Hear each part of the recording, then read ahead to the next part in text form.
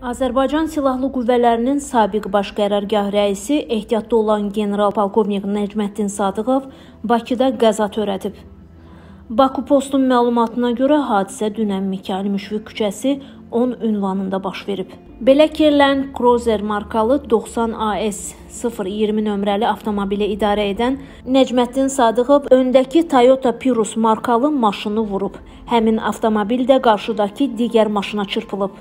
General polkovnikin maşını zirehli olduğundan zədələnməyib, lakin Toyota Prius yararsız hala düşüb. Hadisə yerinə Dövlət Yol Polisi İdarəsinin əməkdaşları gəlib. Nəcməddin Sadıqov sonradan hadisə yerinə öz köməkçisini çağırıb.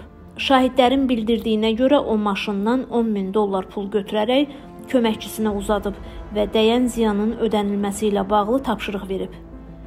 Qeyd edək ki, aylardır Nəcməddin Sadıqovla bağlı ağır ittihamlar səsləndirilir, amma o ittihamlara reaksiya vermir.